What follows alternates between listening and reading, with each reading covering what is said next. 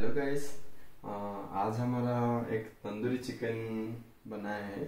चलिए इसको थोड़ा देख लेते हैं, अभी ये फ़िलहाल हुआ है या नहीं तो पहले इसको निकाल लेते हैं। हमने इसको इंडियन रेसिपी पर, तंदूरी चिकन पर इसको अभी हमने प्रेजेंटेशन किया था। मतलब इसका जो जितना टेम्परेचर देना था, उसको दिया था। अभी और पंद्रह मिनट के बाद कंप्लीट हो जाएगा। देख लेते हैं कितना अभी हुआ है।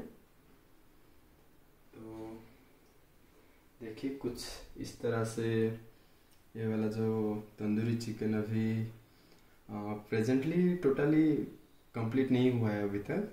और 15 मिनट्स के बाद ये वाला प्रॉपरली मतलब तंदूरी हो जाएगा। तो चलिए इसको फिर से ऐसे करके बिठा देते हैं। इसके सही जगह पर। और फिर इसको स्टार्ट कर लेते हैं। और अभी ये स्टार्ट हो गया है।